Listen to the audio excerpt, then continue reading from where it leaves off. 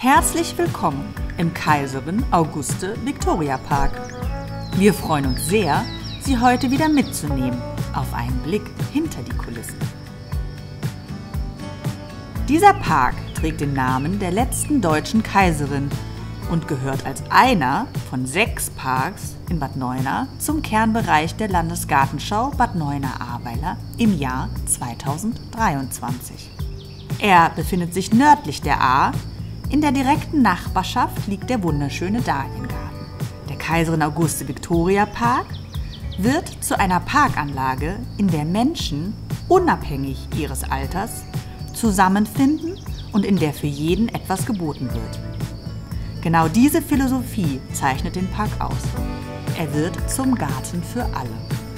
Mit der Errichtung eines Mehrgenerationenspielplatzes für Vitalität und Fitness unterstreicht dieser Bereich der Landesgartenschau seinen besonderen Charakter.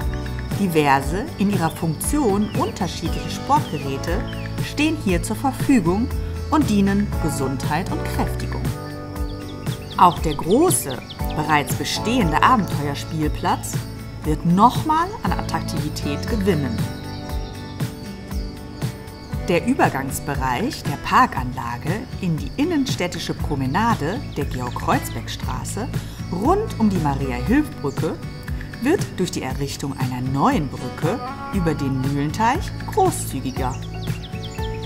Die bisherige getrennte Wegeführung für Fußgänger und Radfahrer wird zusammengelegt und der Weg gleichzeitig seicht, aber stetig bis zur Maria-Hilf-Brücke angehoben um das starke Gefälle an der Brücke zu entschärfen.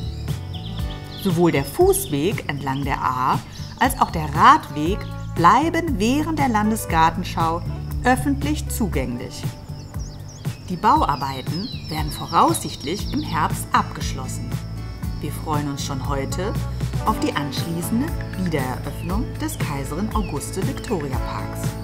Hier wird gespielt, hier ist man aktiv pure Lebensfreude für Jung und Alt. Freut euch drauf, ihr Team der Landesgartenschau und natürlich euer Arwin.